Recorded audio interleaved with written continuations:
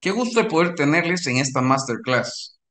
Propuesta de valor, un tema interesante y por supuesto fundamental en nuestro proceso. Acompáñeme.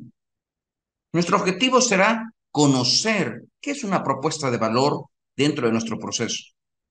Nuestra meta será describir esta propuesta de valor con cada uno de sus componentes, para que al final podamos tener la competencia mínima necesaria que será identificar los elementos de esta propuesta de valor para que podamos tener claridad sobre la misma. Iniciemos con nuestra masterclass.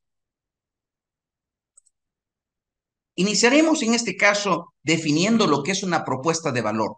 La propuesta de valor es una herramienta esencial en el marketing que resume el valor distintivo que una empresa ofrece a sus clientes, proporcionando una razón convincente para que los consumidores elijan su oferta por encima de la competencia.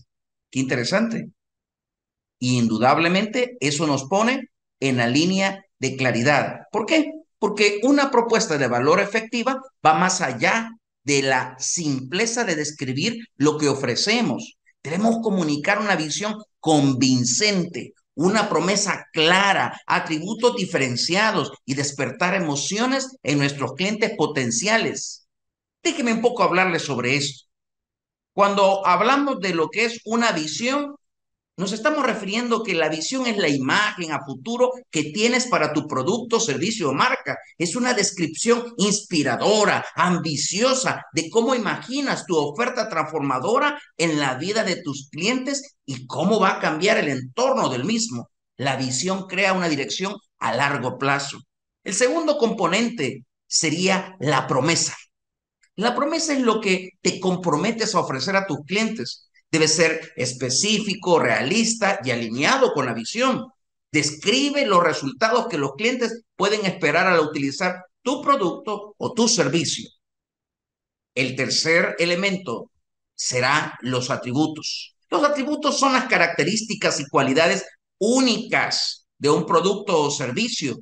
Representa cómo se cumple la promesa y respalda la visión. Si usted ve, hay un hilo conductor.